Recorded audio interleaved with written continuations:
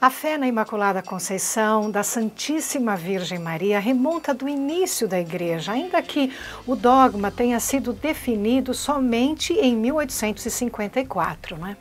Essas palavras de Padre Kolbe que ele fazem parte de uma palestra que ele estava fazendo para divulgar a Milícia da Imaculada na Rádio Nacional Polonesa. Foi uma das poucas vezes que ele conseguiu falar na rádio antes de vir a guerra e terminar com todo o projeto de evangelização dele, ou melhor, parar naquele momento só. E o objetivo justamente era mostrar para as pessoas, tornar visível a Milícia da Imaculada e os ideais que a sustentavam. Era aí o ano de 1937 e a cidade da Imaculada estava completando 10 anos de existência e a milícia da Imaculada 20 anos. Ele havia fundado a milícia em Roma há 20 anos atrás. E o programa da milícia ainda é o mesmo de hoje, né? O objetivo é o mesmo ou seja, empenhar-se através da Imaculada como instrumentos em suas mãos na obra da conversão, da conversão das pessoas, dos pecadores e todos aqueles que necessitam de conversão, e também na obra de santificação de todos.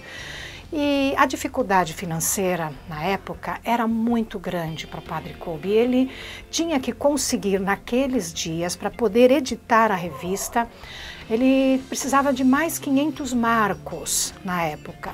E ele foi até a Basílica, que era ah, dos próprios frades franciscanos, pedir ajuda para Nossa Senhora, se ajoelhar diante dela e pedir que ela intercedesse.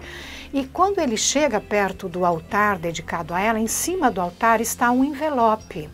E naquele envelope estava escrito: Para ti, Imaculada. E quando ele pegou o envelope e levou para o superior, lá dentro estavam exatamente 500 marcos. E o superior dele disse: Isto é para a Imaculada, portanto é você que vai levar e pagar essa dívida que é dela. Afinal, a milícia é dela. Interessante, né? A gente vê como a providência divina, ela, ela vem nos socorrer nos momentos de maior dificuldade. E eu penso que é isto também que acontece na Milícia da Imaculada hoje, né? Se a providência divina, através de você, querido Milite, não acontece, a obra não consegue seguir adiante, né? Existem milhares e milhares de obstáculos, de dificuldades internas e externas que querem atrapalhar o trabalho da evangelização, mas nós não podemos deixar isso acontecer, apesar da nossa fraqueza e apesar dos nossos defeitos.